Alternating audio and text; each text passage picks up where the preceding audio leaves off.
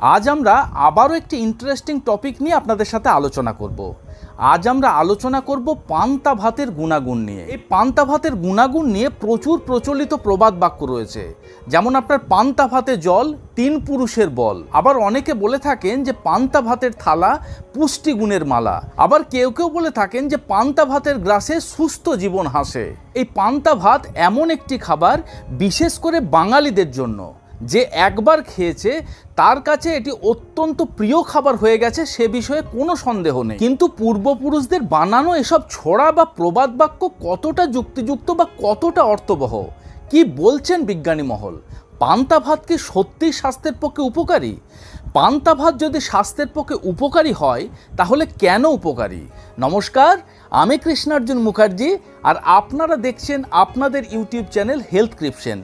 আজ আমরা এই সমস্ত বিষয় নিয়ে খুঁটিনাটি আলোচনা করার চেষ্টা করব। ভিডিওটি শেষ পর্যন্ত সঙ্গে থাকুন।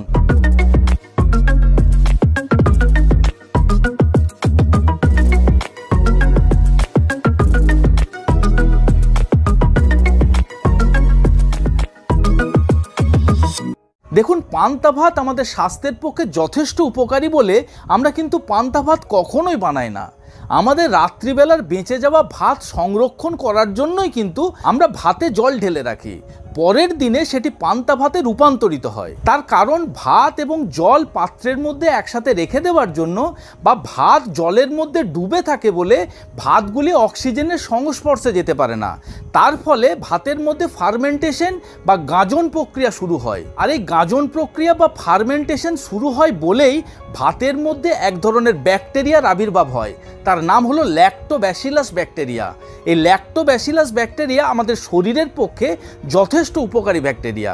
এই ল্যাক্টোব্যাসিলাস ব্যাকটেরিয়ার সংস্পর্শে আসার সাথে সাথেই এক ধরনের কম্পাউন্ড রয়েছে পান্তা ভাতের মধ্যে, যার নাম হলো ফাইটেট এই ফাইটেট আমাদের শরীরে কিন্তু অ্যান্টিঅক্সিডেন্ট বা অ্যান্টি ক্যান্সার এজেন্ট হিসেবে কাজ করে।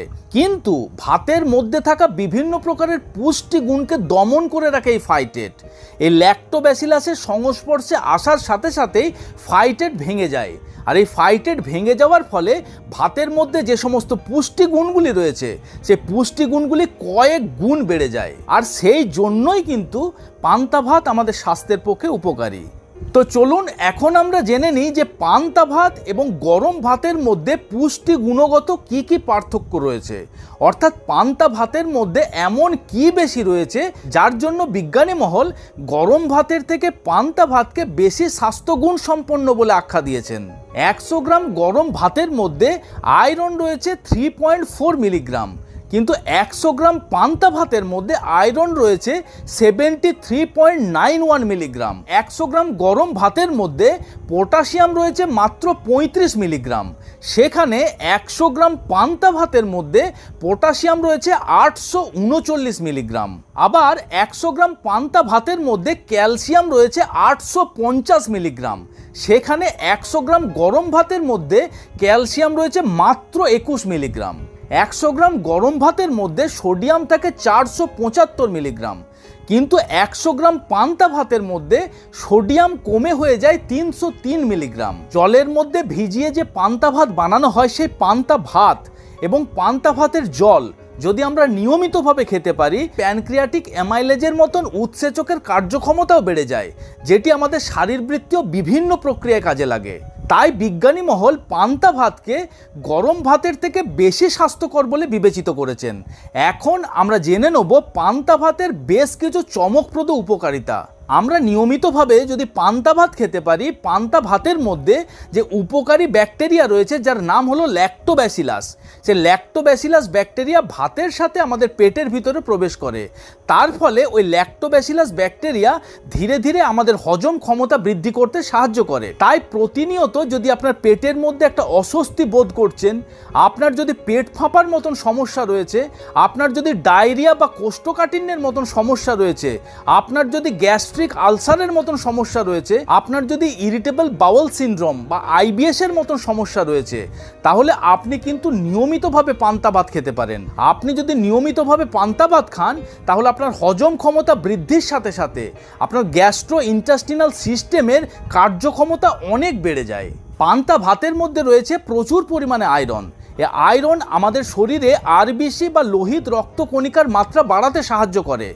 তাই যদি আপনি অ্যানিমিক পেশেন্ট হয়ে থাকেন বা যদি আপনি অ্যানিমিয়ার মতন সমস্যায় ভুগছেন, আপনি কিন্তু নিয়মিতভাবে পান্তা ভাত খেতে পারেন। এছাড়া পান্তা ভাতের মধ্যে থাকা আয়রন আমাদের রক্তে অক্সিজেনের মাত্রা বৃদ্ধি করতে সাহায্য করে। পান্তা ভাতের মধ্যে থাকা ভরপুর মাত্রায় ক্যালসিয়াম আপনার হাড়কে মজবুত রাখতে সাহায্য করে। তাই বয়স বৃদ্ধির সাথে সাথে যে সমস্ত বিভিন্ন প্রকার আপনার হাড়ের সমস্যা হয়ে থাকে, যেমন আপনার অস্টিওপোরোসিস তারপর আপনার অস্টিওজেনেসিস ইমপারফেক্ট, এই সমস্ত সমস্যার থেকেও কিন্তু আপনি অনেকখানি দূরে থাকতে পারবেন। পান্তা ভাতের মধ্যে থাকা ম্যাগনেশিয়াম আমাদের শরীরে বিভিন্ন প্রকার এনজাইম বা উৎসেচকের মাত্রা বাড়িয়ে দেয়। আর এই উৎসেচক আমাদের শরীরে বিভিন্ন কাজে লাগে। শ্বাস প্রশ্বাস নিতে, আমাদের কোনো খাবার হজম হতে, আমাদের মাসেল বা আমাদের নার্ভকে ঠিকঠাকভাবে ফাংশনিং করতে সাহায্য করে। পান্তা ভাতের মধ্যে দুই ধরনের এসেন্সিয়াল কম্পাউন্ড রয়েছে। একটির নাম হলো বিটা সিস্টোস্টেরল আর একটির নাম হলো ক্যাম্পেস্টেরল।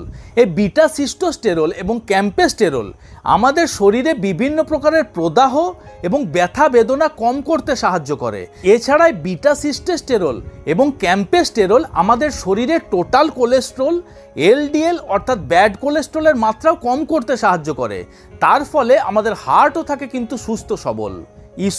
Isorhamnetin seven O glucoside flavonoid. এই নামে এক ধরনের কম্পাউন্ড রয়েছে পান্তা ভাতের মধ্যে। যে কম্পাউন্ডটি আমাদের শরীরে ক্যান্সার প্রতিরোধক হিসাবে কাজ করে।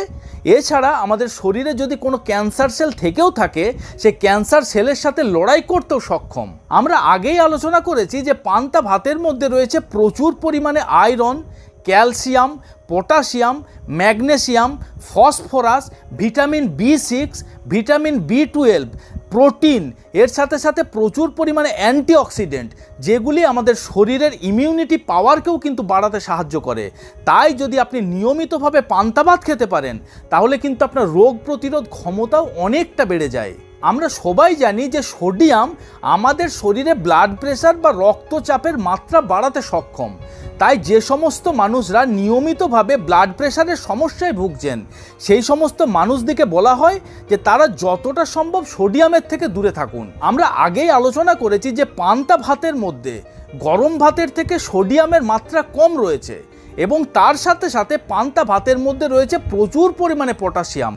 আর এই পটাশিয়াম আমাদের শরীরের থেকে সোডিয়ামকে বের করে দিতে সাহায্য করে। তাই যদি আপনি হাই প্রেশারের মতন সমস্যায় ভুগছেন, তাহলে কিন্তু আপনি নিয়মিতভাবে পান্তা ভাত খেতে পারেন আপনার ব্লাড প্রেশারকে কন্ট্রোলে রাখার জন্য। আশা করি ভিডিওটি আপনাদের ভালো লেগেছে। যদি ভালো লেগে থাকে, তাহলে অবশ্যই ভিডিওটিকে লাইক, কমেন্ট, শেয়ার এবং সাবস্ক্রাইব করবেন। আমাদের সাথে থাকবেন। আপনাদের সুস্থতা এবং দীর্ঘায়ু কামনা করি। ধন্যবাদ।